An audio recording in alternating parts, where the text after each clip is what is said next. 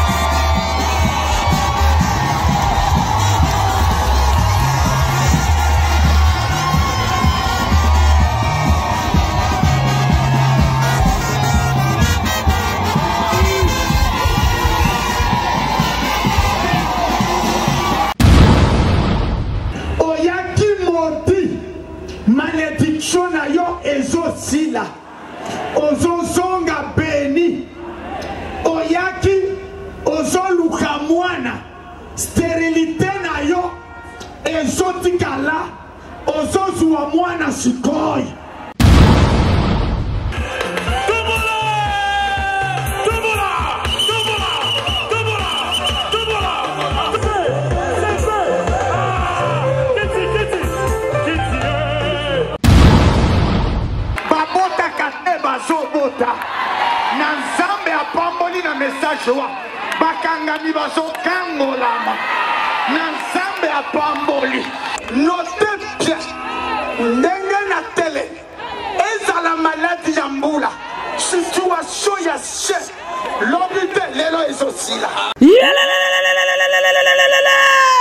Peuple de Dieu, ministère des affranchis avec l'homme de Dieu, l'ambassadeur du Christ ici sur terre, le prophète Emmanuel Dodi. Bamemeli bino mobange na fête. Fête de la moisson oyo ekobanda le 28 mai pe ekosila le 16 juillet. 50 jours ya jeûne et prière, to se concentrer, tolona potobuka na nzela ya losambo. 50 jours ya fete de la moisson yaya ezali occasion moto azanga te ebongo clôture nango mama yaka na mama eh. ekozala somo na foire internationale de kinshasa fikina tokutana biso nyonso baye babotaka te bakobuka mabota baye bazangi misala okobuka travail mpe baresultat ya ndenge na ndenge oyo aza na malade ya kobuka guérison me bana ya poto bakozala au rendez-vous Bana na Nzambe ya mokili mobimba, ngai mama na bino Mbili ya Belle, esika na ti makolo awa nakomi deja affranchi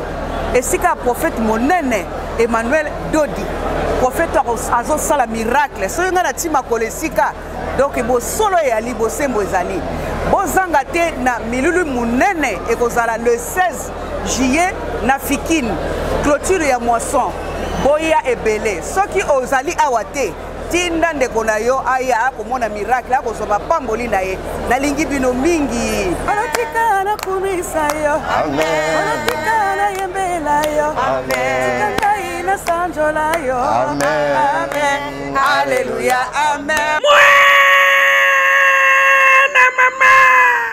Le prophète messager Emmanuel Dodi, l'ambassadeur de Christ sur terre, fête de la moisson, référence biblique.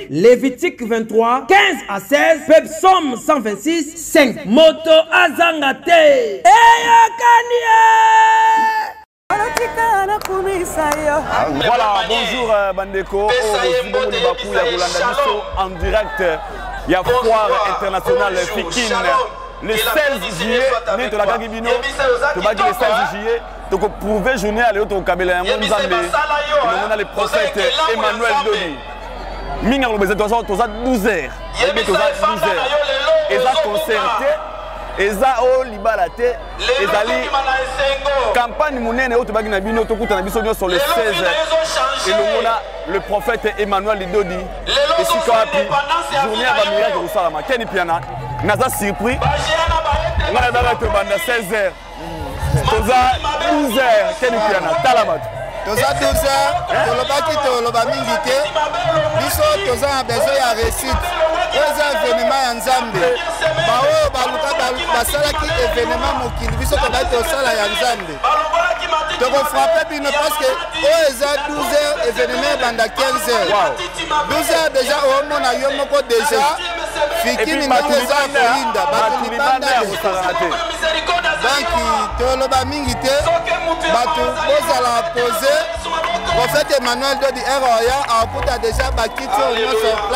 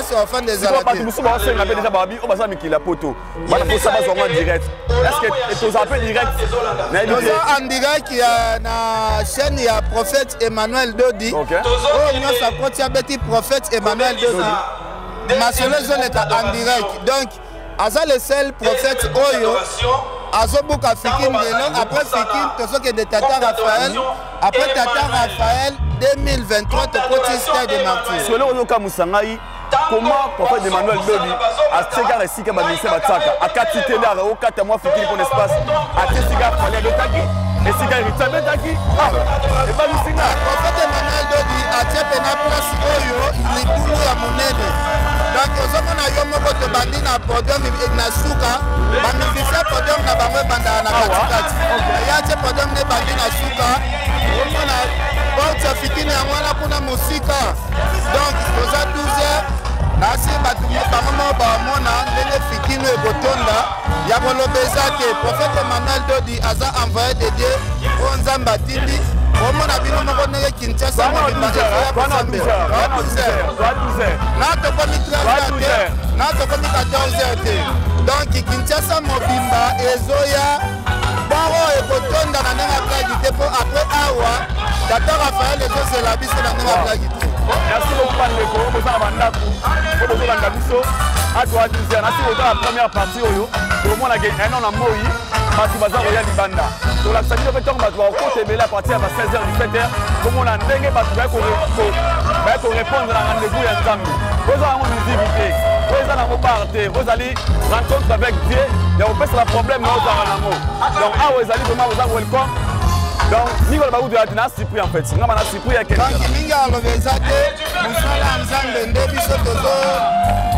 soutenir parce que tolobaki fo kofongola mise badistraction inutile fo kolongwa tozo soutenir mosala ya nzambe profete mamete aza profete ya monene na mboka na biso tozo soutenir ye toza toujours nsima na ye bandeko oyo mpe bazo soutenir evenema ya miziki ya mokili topekisi bango te na biso mingi nzambe nde nzambe babi nzambe aza bien nataki mwana nzambe nabaki samedi ya lelo nakokambela yango nzambe aba le 16 juillet eza journée moko boye oza na baproblème na yo oza malade esilaka te oza koka oza aveugle wana 12 heures sotali video olobala ndeko na yo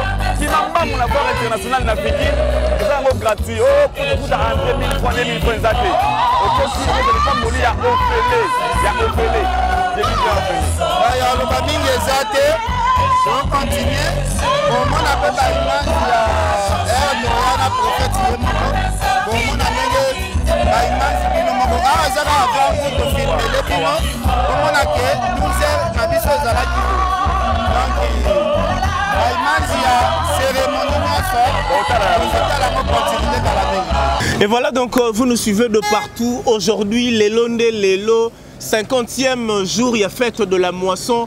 nde kaka bozali kolandela biso ndenge kaka tolobaki aujourd'hui tozali kokende parce que nous sommes ici à l'église plein eza déjà na foire internationale Fikine aujourd'hui nous sommes le 16 juillet 2022 balobaki fête de la moisson et bandaki lelo nde ekosila je suis pas seul Aïdor Bokwala cet événement un grand événement un grandiose eza lelo le 16 juillet yango depuis depuis on avait bien dit que le, le 16 juillet 2022 ekotikala date moko historique na mitu ya bacongolais oyo balingaka délivrance touti bongo na foire internationale ngai na keni piana déjà na 12 heures bato bazalaki tellement ebele là nous sommes à l'église esika toyei kozwa ye moko dadi le euh, euh, prophète emmanuel dodi akende bongo sur place moto nzambe mm. mon frère ngai namona bato bakenda bafikini mpo na bamusike namona bato bakenda baévénement ba, ba mosusu oyo mpona pour rien gagner je peux dire mais oyo eza likambo ya nzambe so totiki bata na biso mpona kolanda moto nzambe parce que toyebi oyo tozosala awa ah, tozali bongo tomutu wana keni mpe na tona mama aza mpe mama bonjour bonjour papa mokolo loso mona ngo ndenge nini mokolo lelo lelo nde lelo lelo eza nde hmm. toye tobandi kosepela oyebi soki par exemple balobi na yo feti biso tokonfondaka bafeti hmm. tozala tokanisaka feti ezali eh, nasala bonesa feti eza kolia komela kobina mm -hmm. donc lelo biso bafranchi kolia komela kobina yeah. lelo mm. eza kolia komela kobina na guérison oh. mais eza na kati ya makambo nyonso te nyonso eza na kati donc miracle guérison nyonso eza na kati moto abinaka so esengo ezali te yo so oke feti esengo eza te eske okobina baservi yo kolia malamu te eske okosepela eske okovanda na feti yango so omoni moto aobina seke ale bien libumu etondi esengo ale abandi kobina donc nde tozozonga wana moto na moto azozonga na pake na ye ya mapambolipake ne ya mapamboli we balobi lelo nde lelo profete emmanuel dodi profete na biso dadi na biso papa na biso ya molimo papa oyo azobikisa lelo milimo ya bacongolais ebele donc toza awa deja délégation tozozwa prophète na biso tozomema ye place ya bato baza na baproblème kilikili ebele akende kobikisa milimo parce que lelo prophète emmanuel dodi aza le seul prophète oyo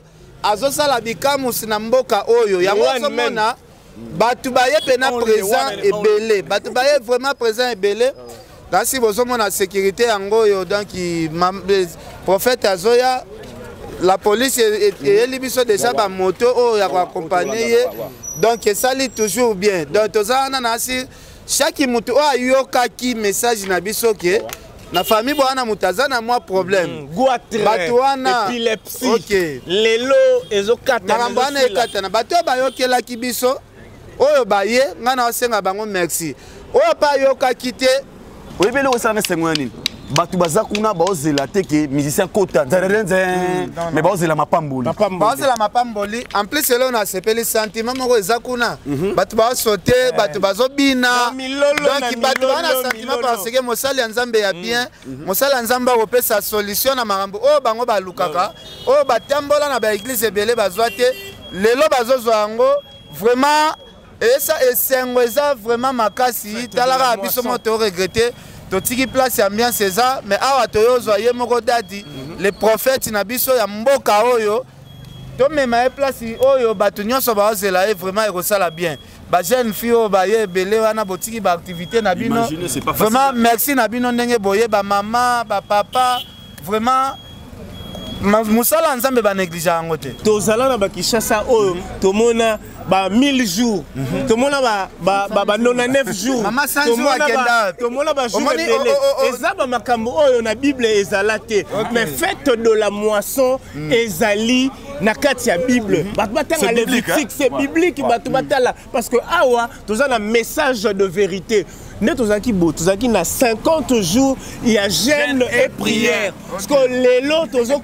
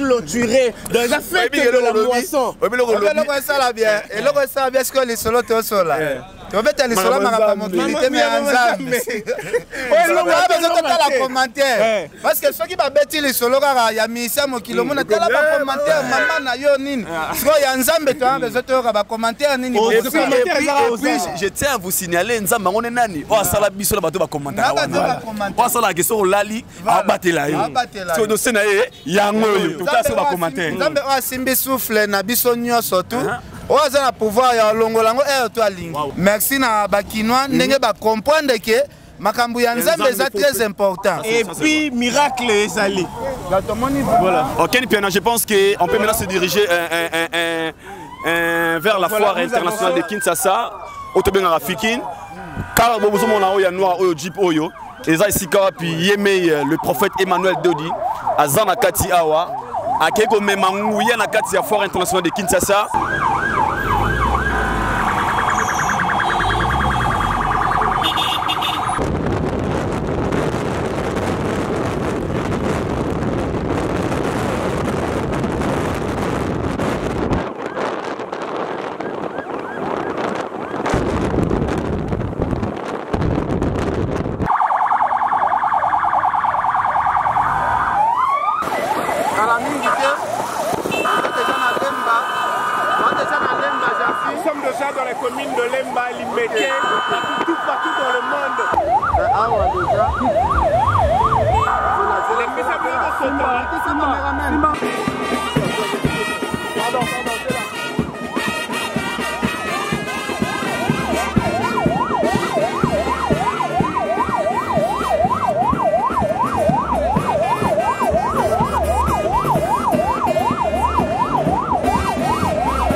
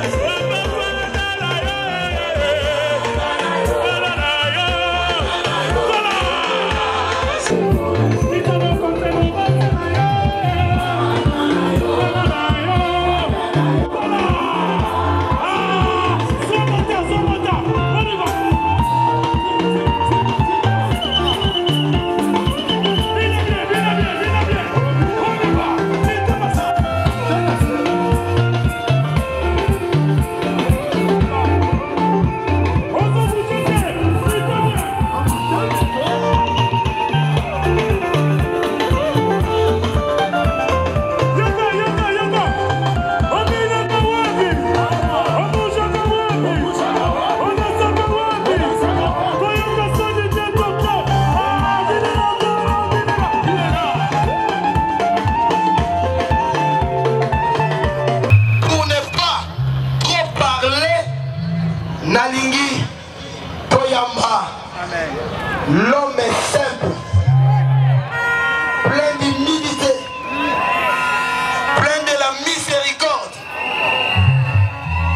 plein de sainteté plein de justice plein de fidélité divine mais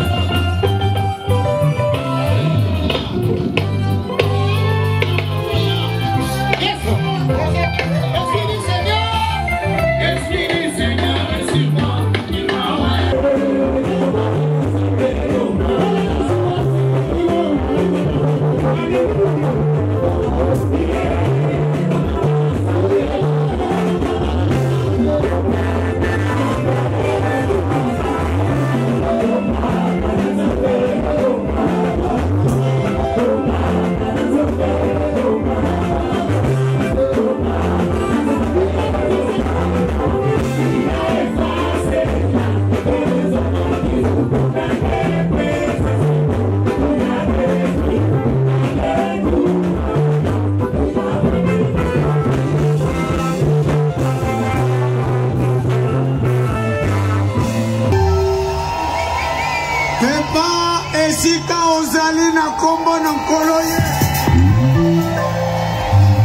kaka ndenge natelemi nyonso ebandi kosalama amin lokamana shekeya yonga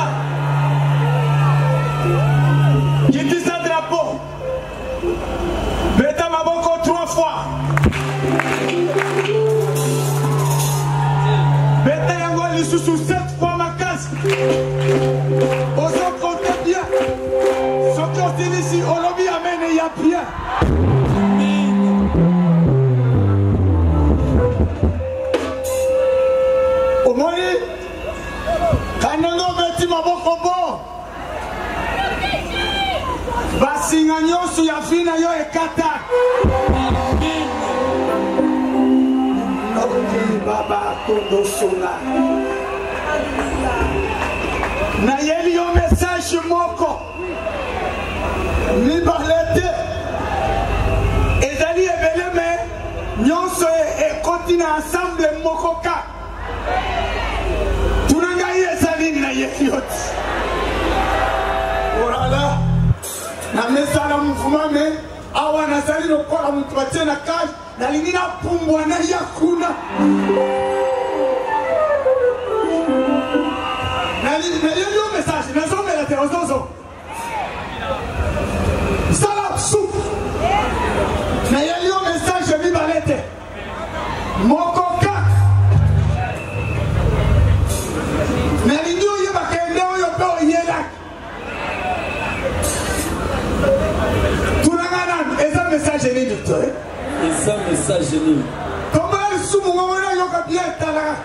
Distance esika ozali na esika.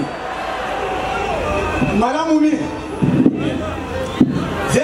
napesa okado ya suka komisa orepondre napesa yo message nayebi yo message moko kaka ya mokuse me ya monene amen message wana telema eza sango malamu ememi makambo nyonso amen totanga kaka une fois naya koyebisa yo message kaka ndenge oza na kotele merci nabengi ndeko parce qu'après tout eza lingomba boye te soki totangi te tozali suivi ya ce moment na baphilosophe bakolo bayaki kaka boye atangaki ata bible te lokola toyebi kotanga bible te te kasi totanga na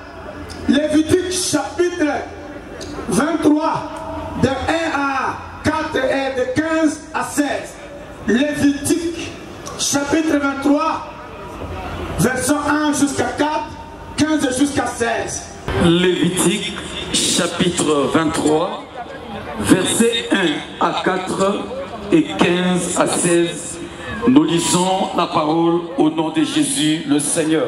Amen. L'Éternel parla à Moïse et dit, parle aux enfants d'Israël et tu leur diras, les fêtes de l'Éternel que vous publierez seront de saintes convocations. Voici quelles sont mes fêtes. On travaillera six jours, mais le septième jour est le sabbat, le jour du repos. Il y aura une sainte convocation. Vous ne ferez aucun ouvrage. C'est le sabbat de l'Éternel dans toutes vos demeures. Voici les fêtes de l'Éternel, les saintes convocations que vous publierez à leur temps fixé. Versets 15 à 16. Depuis le lendemain du sabbat, du jour où vous apporterez la gerbe pour être agitée des côtés et d'autres, vous compterez cette semaine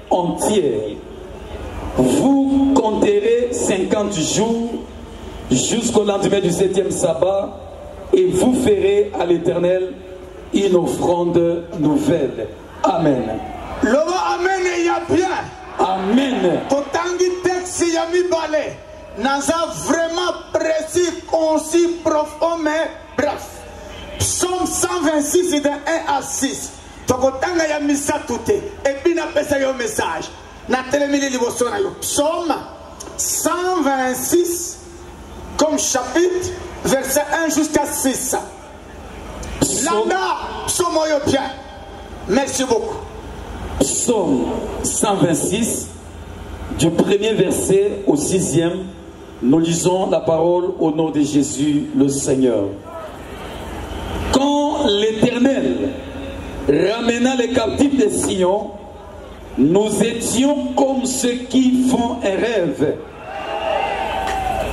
Alors notre bouche était remplie de cris de joie et notre langue. Quand l'Éternel ramena les captifs de Sion, nous étions comme ceux qui font un rêve. Alors notre bouche était remplie de cris de joie chikamunoko nayo etondana bakria esengo amen et notre langue des chants d'allégresse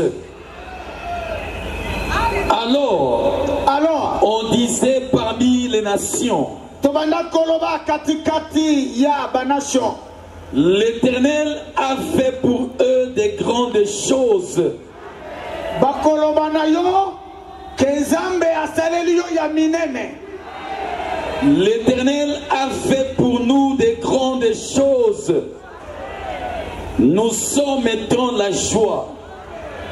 Éternel, ramène nos captifs comme des ruisseaux dans les midi.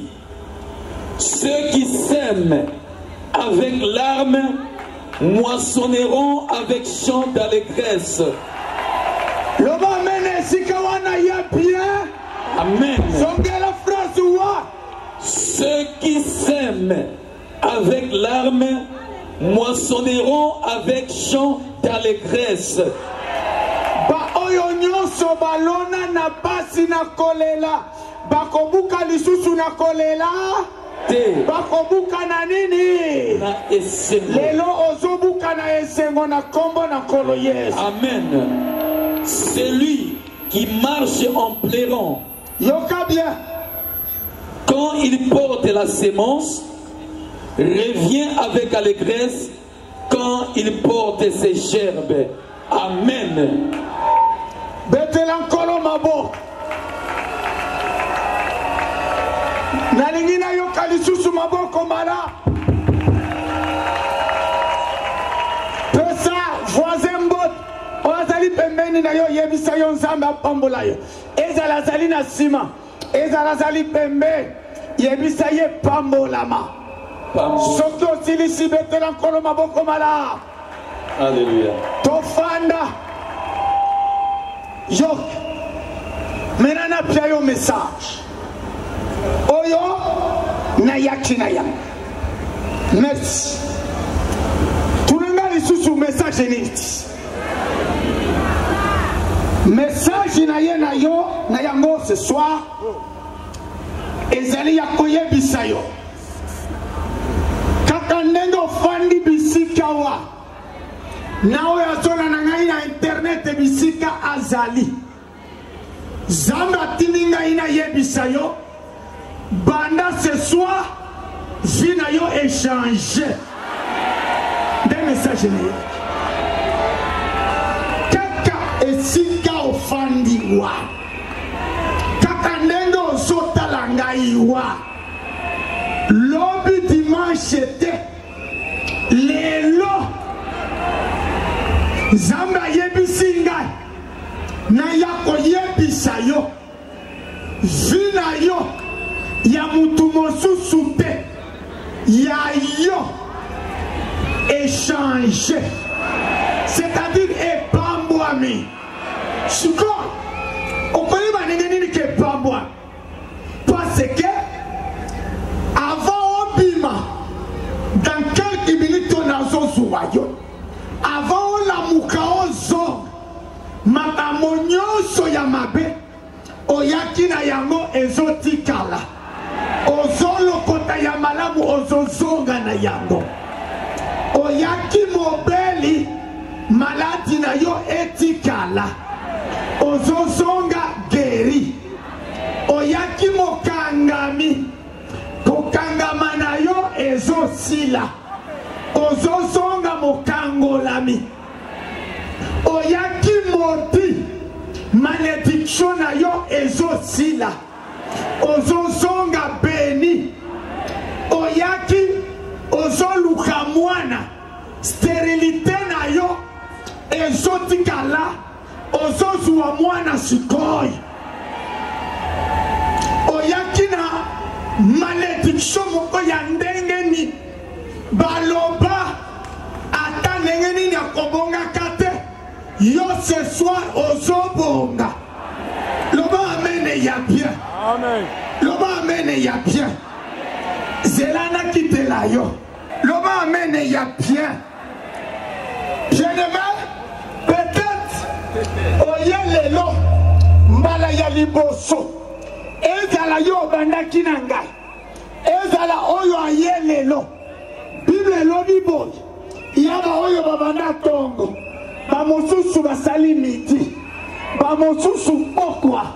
Kasi lifuti ezalaki kaka ndenge moko na oyo aye kaka lelo, na oyo aye kaka lelo, na oyo abandaki, na oyo ayaki 14 na oyo aye 15 na oyo aye 16 na oyo aye 17 zambe azofuta yo nalingi oyeba eloko moko lelo naye koteya te naye outi koloba ete nayeli yo message message ezalaka molai te message ezalaka mokuse nde message nayeli yo elingi koloba lelo nzambe apamboli vi na yo nde message nayeli yo nayebi te soki tozoyokana na yo naye koteya te pendant 50 jours toteyaki je pense oyokaki sango ke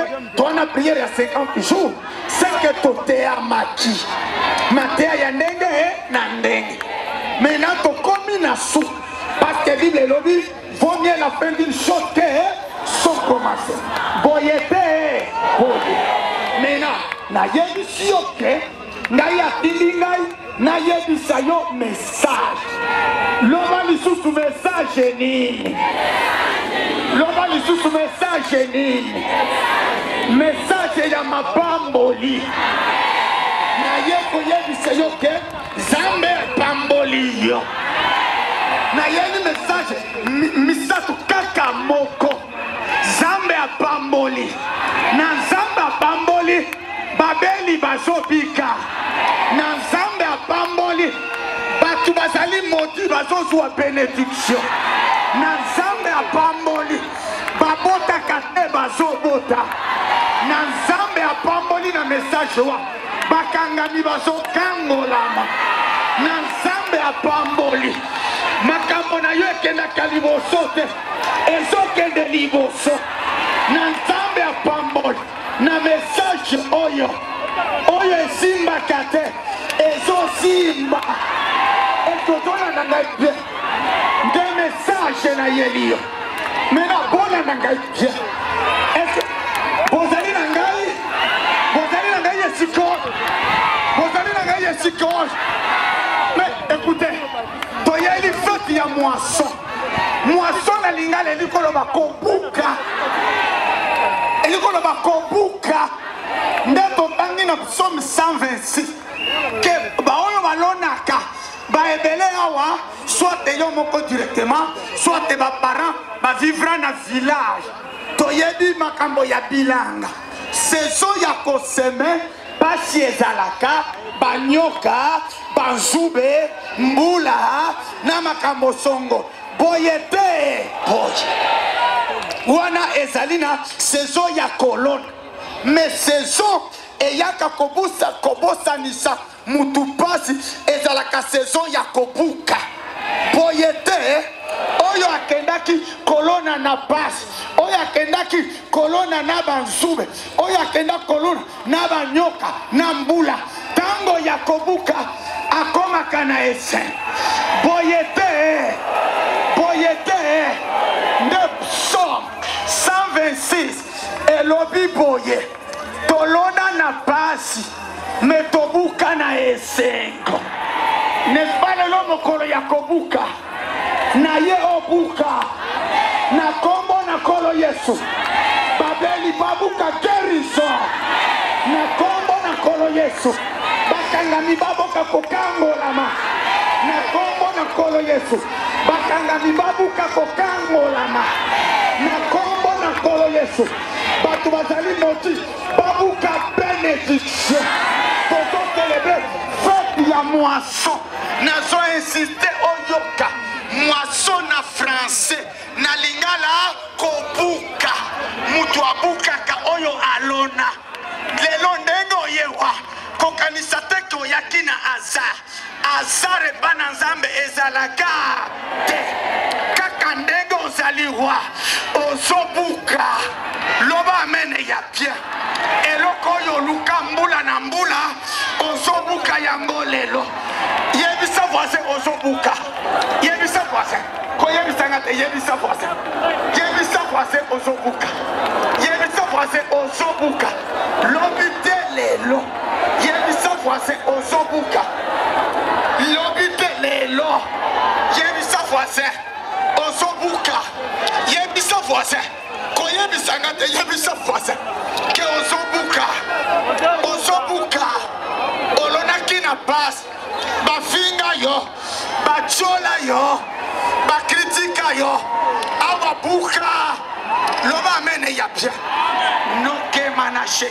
nde message na yelaki ya baoyo nyonso balonaki basala nini baoyo nyonso balonaki basala nini balona na pasi bakobuka na pasi lisusu te bakobuka na nini na este loba amene ya pia lokola moto azosala bila azokende na pasi me na ntango ya kobuka azobuka na ese na kombo na kolo yesu pambolama pambolama pambolama buka eloko buka guérison buka maternité buka succès Bukavi ya prière obungisa. Loba amene ya bien. Ezali mokolo ya ese, mokolo ya kobuka. Ezali mokolo ya ese. Kaka ndenge nazotambola boye. Bato bazobuka. Kaka ndenge nazotambola boye. Eloko moko ezolungwa kati na ngai ezolanda moko na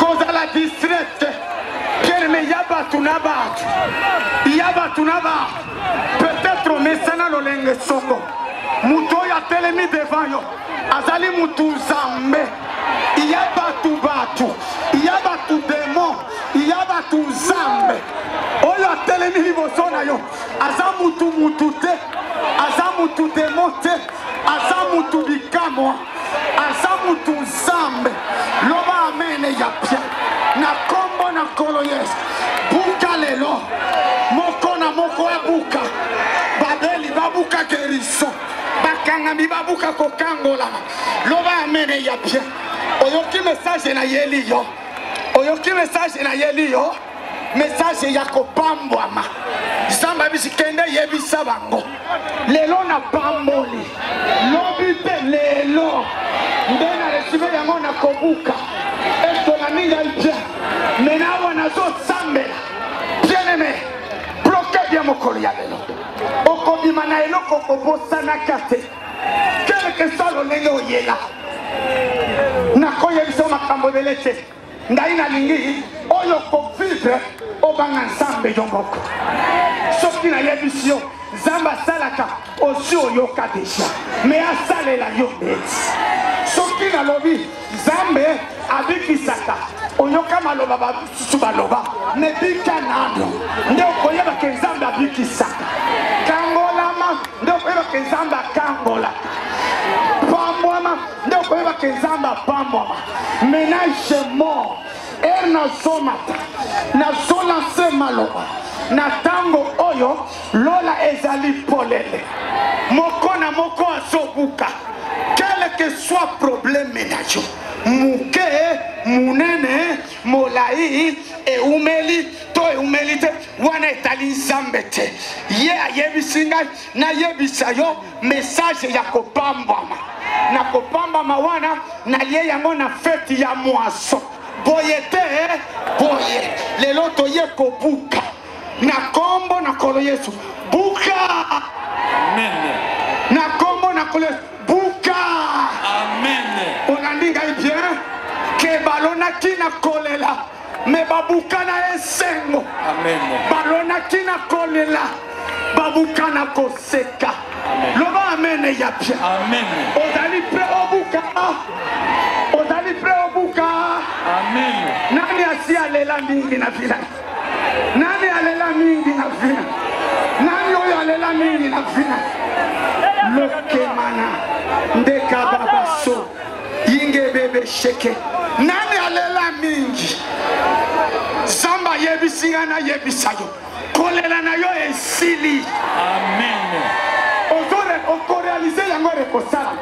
Bible elobi ere akangolaki bango bazalaki lokola bazolota ndoto ere akosalela yo ekozala lokola ndoto loba amene ya pia loba amene ya pia na mati nakitaki na ntina loba amene ya bie e nazomata yo kotombola maboko parceke nayaki na mesaje nayaki koteya ti nayelaki yo mesaje soki bato batikalaki batuni okendaki na fiki okenda kosala nini nakendaki na suka ya feti ya kobuka loba yango na lingala kobuka moto abukaka oyo alona nzambe nde atia feti ya mwaso tokenda bapriere ezalaka bafeti te me oyo nakendaka ezalaki priere te ezalaki fete ya moisson loba amene ya biengala babengi yango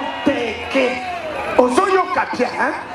priere na bafete eza biloko mibale ekeseni tozoyokana bien oyo eza priere te ezali fete or oh, boyebi ke na fete nyonso bato baliaka bato bamelaka bato basepelaka force ya fete eza biloko misato kolya komela na kosepela toyaki liloba loba amen tomelaki losambo panda 50 jours me na lelo nzambe alingi asepelisa yo kosepela ekosalama na oyo miracle nzambe akosalela yo c'est comme ça que message na ye na yango bien aime mode ya opération nazalaka na nzambe ezali or non je vous parle calme moko na moko azozwa ya ye amen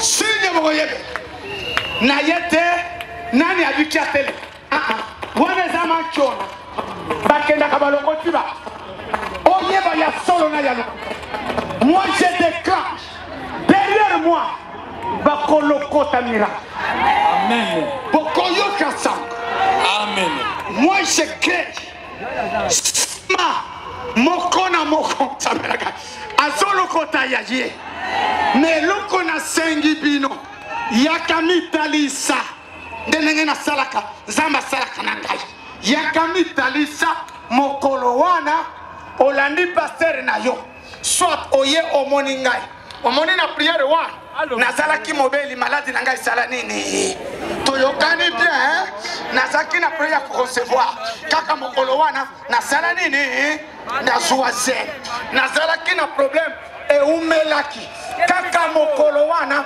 a partir ya lobi na lendi eloko condition na pesi ogarantire ngai ke okomibimisa loba amen okobomba miracle nzambe akosala te toyokani na esplike bino makambo ndenge ekosala na kimia nyonso jamais Samba utilisa mutu bon. Vous allez voir. Choper. On va récolter. Sida kosila. Amen. Ba cancer kosila. Amen. Nanga bazonga nanga na poto. Amen. Soki baza connecté. Bokolo kota nalingi bolokota bikamwa. Amen. Bolokota mapamboli. Amen. Sikoyo ekoya kolanda ngai.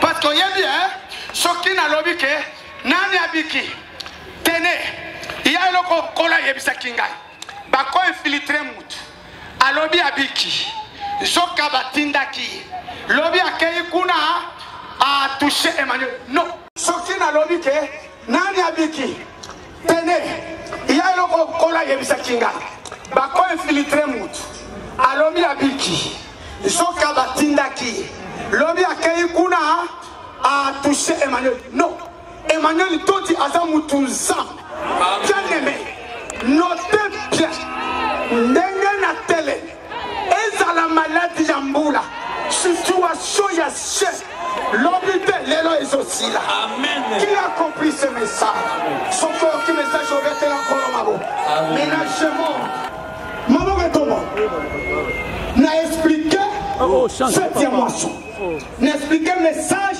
na yeli bino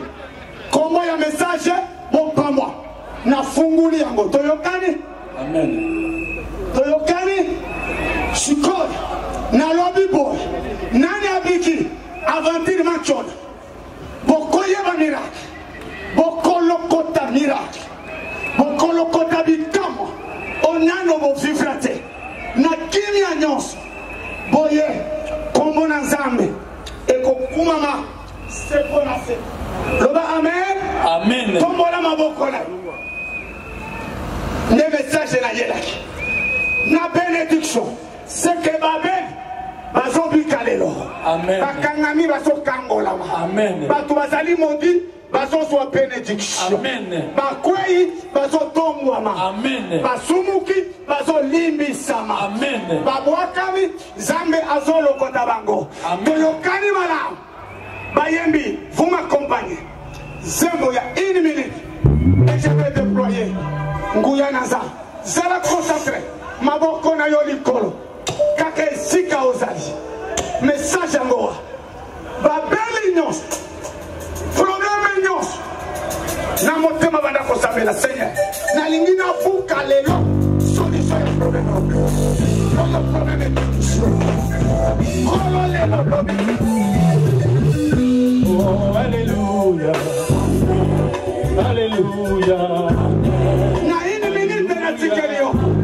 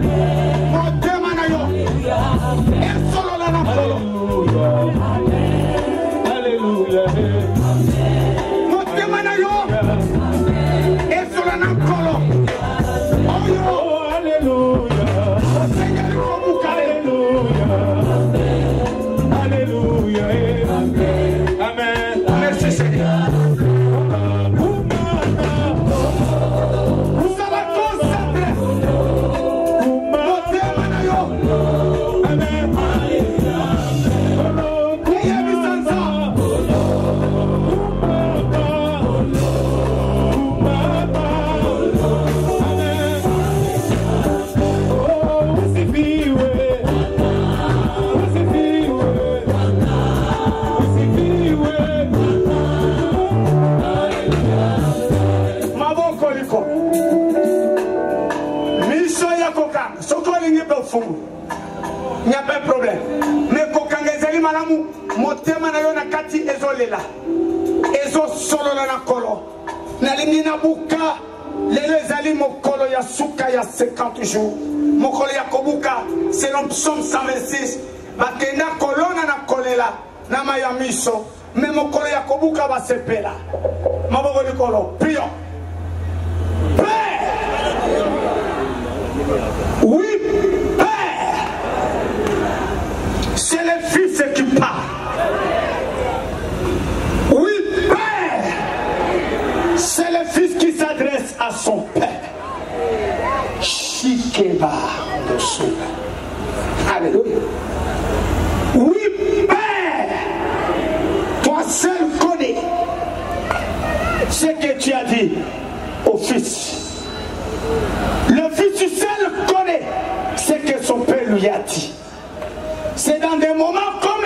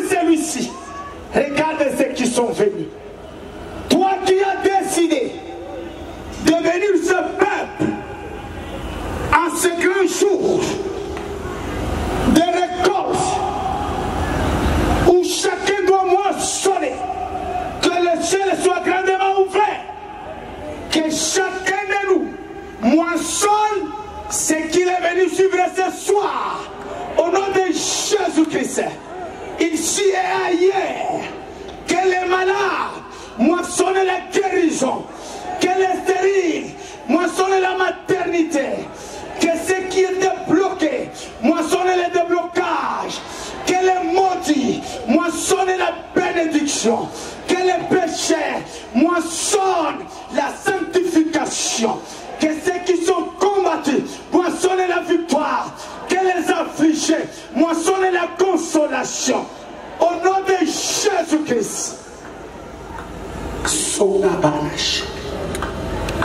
Regarde le besoin des chaque.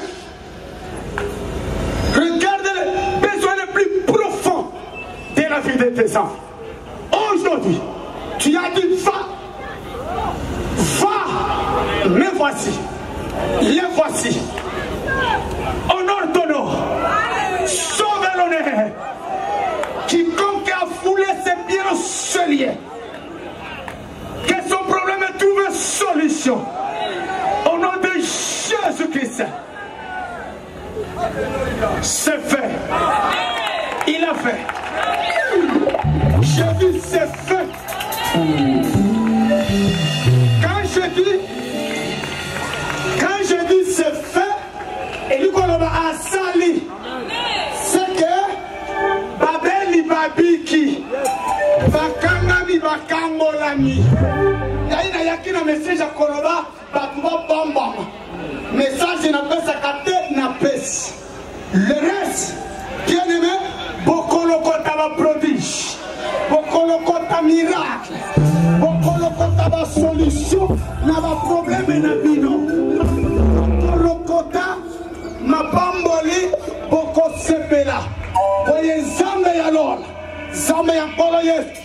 apambola bino na déclaré devant Dieu et devant l'assemblée ici présent clo nakangi fete ya moisson nafunguli lo et accompagne yo jusqu'à l'année prochaine à la même date avant ça okobosana moisson oyo te okokende kolala ero okolamuka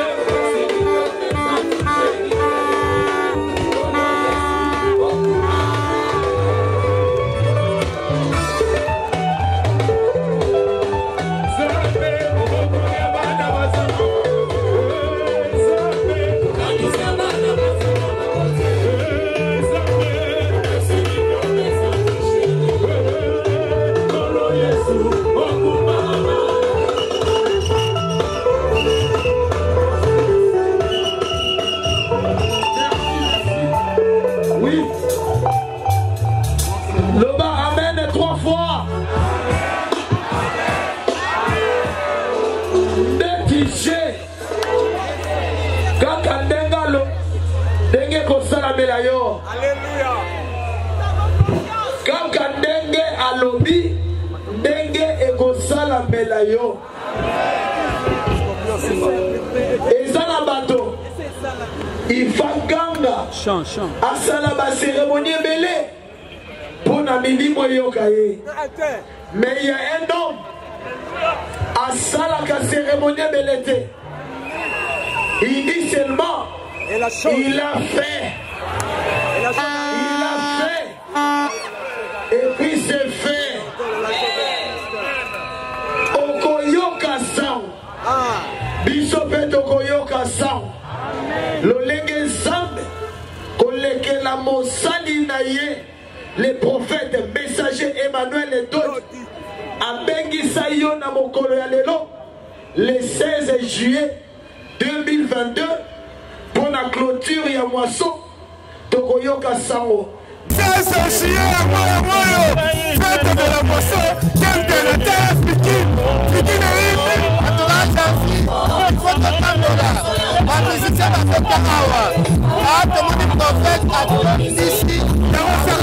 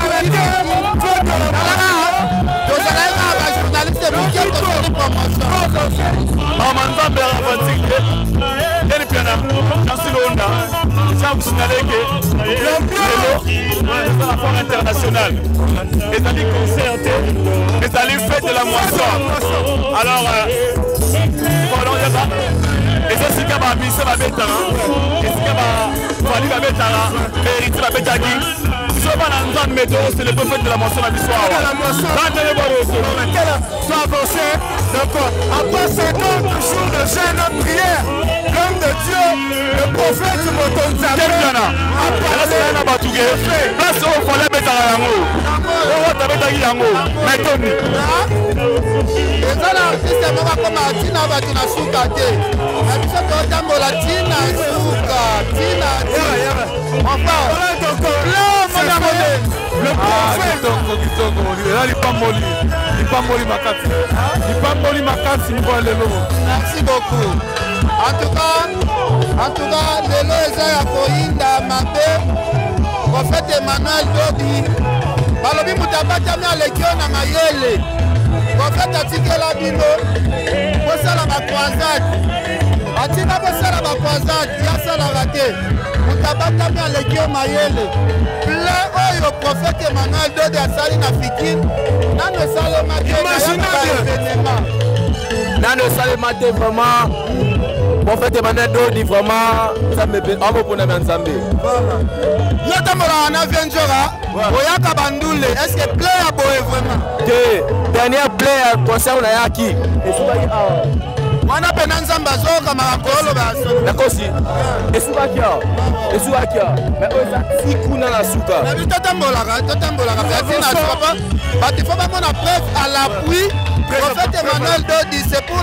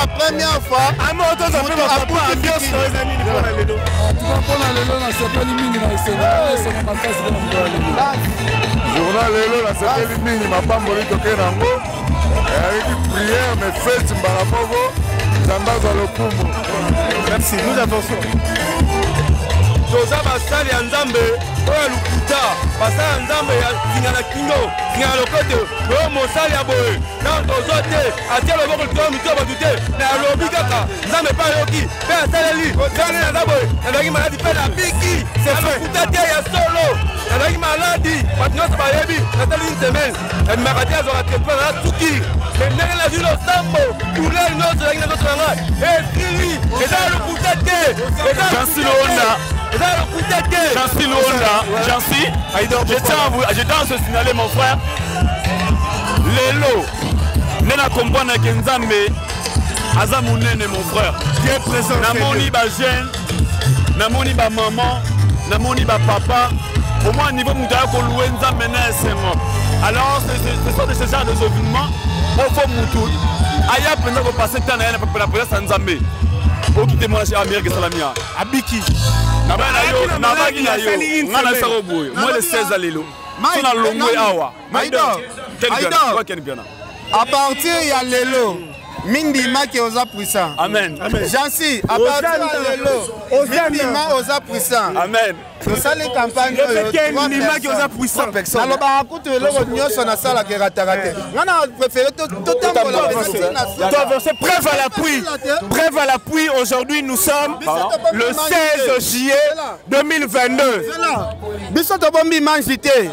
o kote oyo bato baza te bobombi tozo filme partout en tout cas prophète emmanuel dodi na 2022 moto asali événement ya plein koleka prophète emmanuel dodi non namoni te bato nyonso tu tokotaki doute batondi te etondi te Il y a prophète emmanuel dodi sans micro.